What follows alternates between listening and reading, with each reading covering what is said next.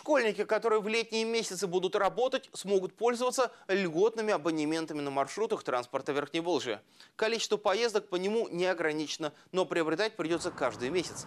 Это пластиковая карта желтого цвета. Она продается в газетных киосках и почтовых отделениях. Залоговая стоимость 50 рублей. Действует только в черте города. Для оформления необходимо предоставить в свою школу справку с места работы с указанием периода трудоустройства по трудовому договору.